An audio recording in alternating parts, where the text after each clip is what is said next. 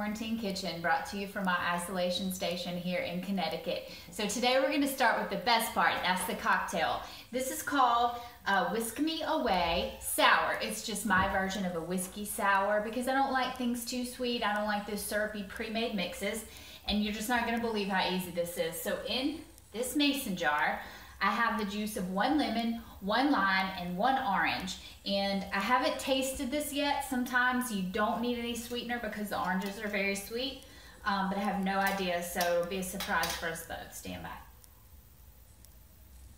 Ooh, yeah, that's gonna need a little. Okay, so to this, we're gonna add one half an ounce of simple syrup.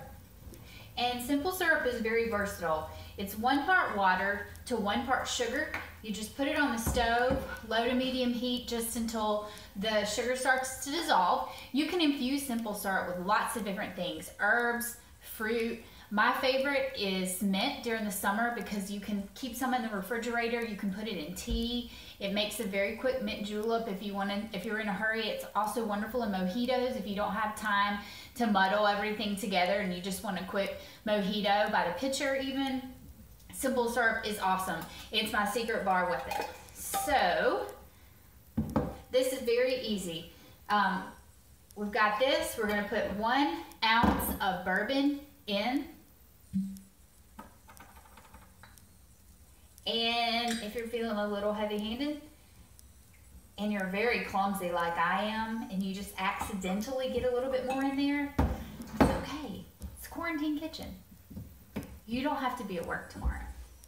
All right, so I'm gonna put the lid on, and I'm just gonna whirl this around just a little bit, and then into the cocktail, we'll put a few little ice cubes. Now I get to do my happy cocktail dance. We're gonna shake it up Lid comes off. You can stick a straw in it. We are done.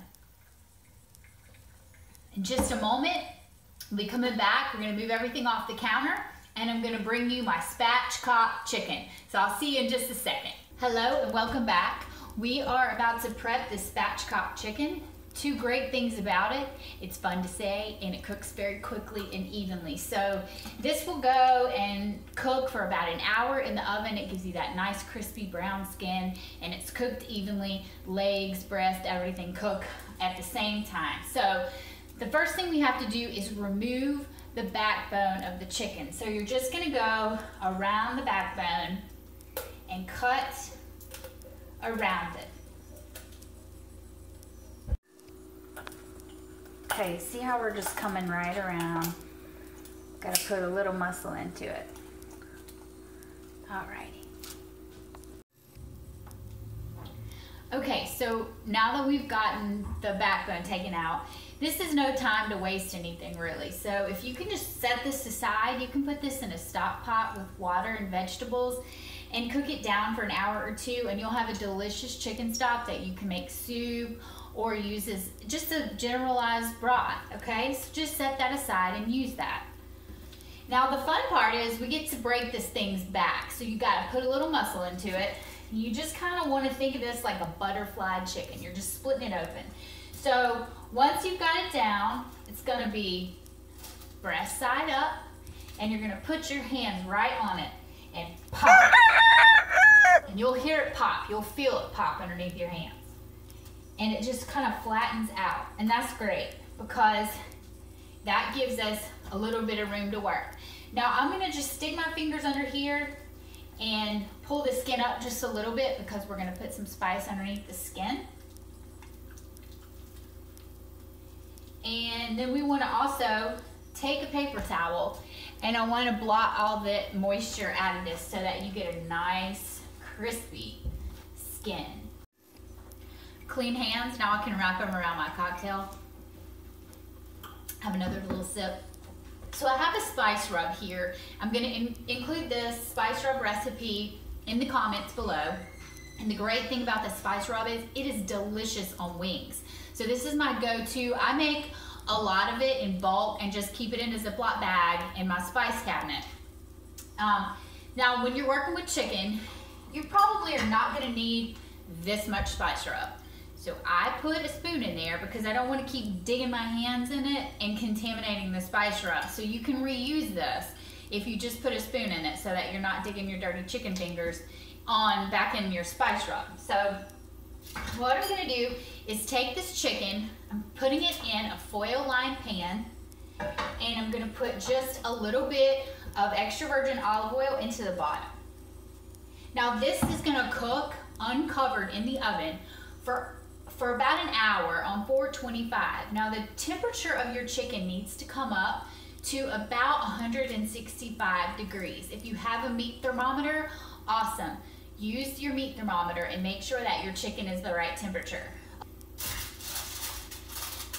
All right, we're gonna lay Mr. Chicken down in the pan. And here we go with the spice rub. So I'm gonna pull the skin up and dab just a little bit and rub underneath there and get it on those chicken breasts.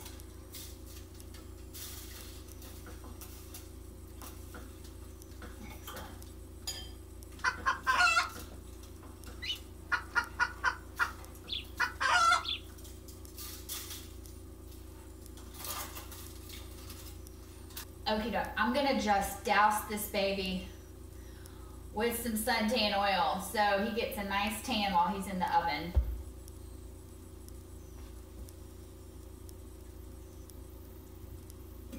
And then one more round of the rub.